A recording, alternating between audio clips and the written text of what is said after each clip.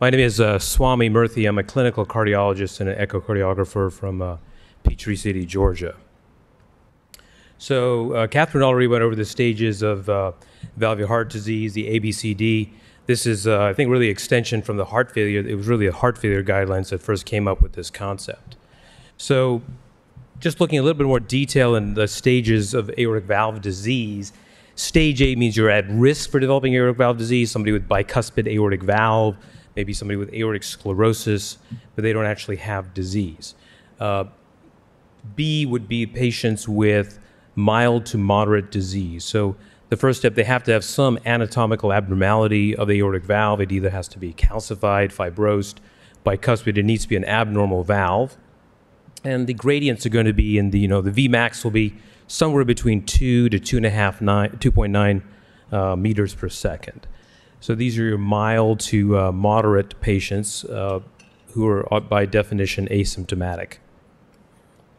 Stage um, C1 are these asymptomatic severe aortic stenosis, which we all see. These are the classic, they have a high gradient, they have a low valve area, their ejection fraction is normal, um, but they are asymptomatic. We follow these patients for symptoms. Uh, I think we're all seeing these, and these should, patients should be obviously followed very carefully. The recommendations are an echocardiogram every six to 12 months uh, per the guidelines. And if you don't believe that they're asymptomatic, then doing a, uh, an exercise test to confirm the asymptomatic test is certainly reasonable. Uh, stage C2, I, I, guess for severe AS, is probably one of the unicorn patient, some patient with an EF of 15 and severe aortic stenosis who just is asymptomatic. Hard to believe but I guess they're out there. We don't really see those patients very often. Now, what I've been asked to talk about is the uh, low flow, low gradient uh, patients. So, stage D are symptomatic aortic stenosis. These are patients. So, stage D1, we're going to skip over. Those are the classic patients high gradient, low valve area, normal ejection fraction, symptomatic. Those patients need a referral to the valve center, the Marcus Valve Center. Um, now, stage D2 and D3, we'll go into a little bit more detail here. These are the patients, you think of it as a discordance between the valve area and the gradient. You, you get the echo report back, and the valve area is low. It's less than one, so that's severe aortic stenosis. But then your gradients are not high enough to call it to, for it to be D1. So these patients are going to fall into D2 and D3. Uh, as far as you know, when are we going to? How do we get more awareness about this? How, if we're not listening to our patients with a stethoscope and hearing an unexplained systolic murmur, and and asking, taking a history, are you short of breath? Or, you know, what is your exercise capacity? We don't take detailed histories from our patients and do detailed physical examinations. We're never going to find these patients.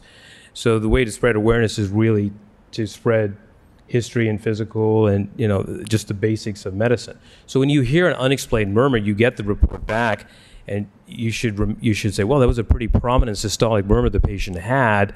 The valve area is low at 0.6, but the gradient's only 25, and the cogwheels need to start spinning, and you need to start looking more carefully at the echo.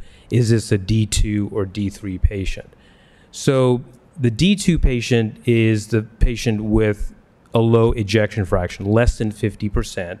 And remember, they have to have some pathology of the aortic valve. If the aortic valve looks completely normal, it's not aortic stenosis, right? The valve has to be calcified, it has to be bicuspid, fibrotic, thickened, rheumatic, something. It has to be an abnormal valve. And the uh, valve area is less than one, but your gradients are low. Then uh, that's the low ejection fraction patient. And then D3 is the same patient uh, but just they have a normal ejection fraction. Now the guidelines, you know, they call, they say the stroke volume is low. The stroke volume index in these patients is low at less than 35 milliliters per meter squared. Pretty easy to calculate on a standard echo. Uh, but actually, there is a category where they can actually have a normal stroke volume and still be D3. That's uh, that's been addressed a little bit later. So these patients remember symptomatic abnormal valves, low valve area. So this is uh, actually from um, Journal of American College of Cardiology case reports from February of 2022. This is actually work from, you know, the pioneer of this work is Dr. Um, Philippe Pibarot from Ottawa, who's done all this work. I'm sure all of us have seen these slides. This is just the most recent one. This is just a high level view of it. So we, when you look at aortic stenosis, we're going to divide it into our high gradient severe AS, which we're not talking about in this talk. And then we have, the concept is we have a discordance between the aortic valve area and our gradient. And then we're going to, then once again, we have patients who may have a normal flow and low gradient. And, and then the next uh, categories are the classic D2 and D3 that you see, the classical low flow, low gradient with low EF and then the one with preserved EF. So we'll zoom in a little bit more here. So just going into this slide and so the definition of a uh, classical low flow, low gradient patient is valve area is less than one, mean gradient is less than 40. Okay, thank you. Uh, gradient is less than 40. Uh, the stroke volume index is less than 35, and EF is less than 50. So that patient, the guidelines are to do a dobutamine stress echo. The, the, the, protocol is that it should be started at five mics and go up by five mics uh, to a maximum of 20.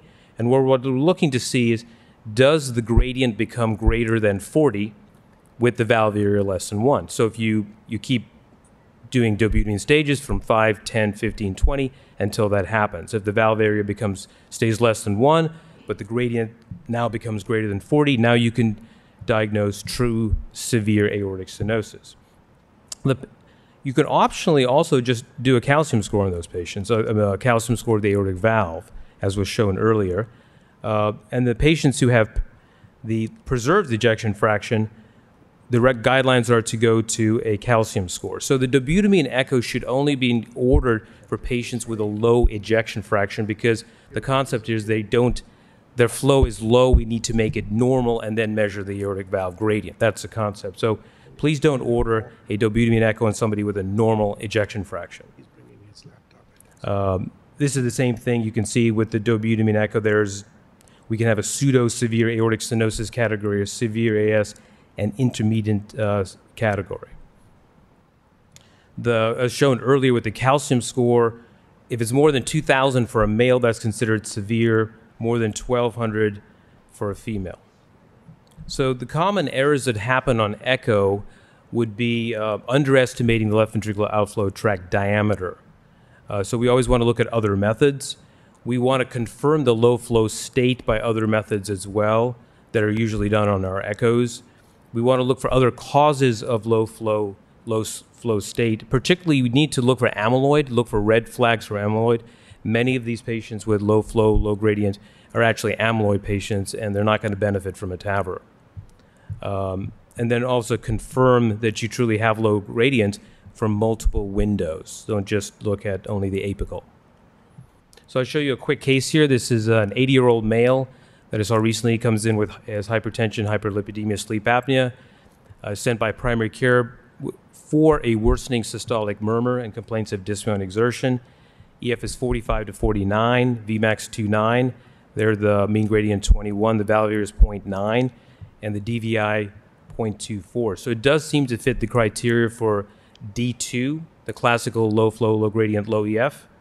He had no AI, no other valve disease, normal RV function. Um, so there's the valve. You know, it's calcified, seems to be limited. I'm not going to show you the whole echo out of interest of time. But interestingly, we did a calcium score on this patient, and it was 1,067. So it's not high enough to meet criteria. So the question is, should we proceed with a low uh, dose dobutamine echo stress test next? Next case is a 94 year old female came for a second opinion for aortic stenosis.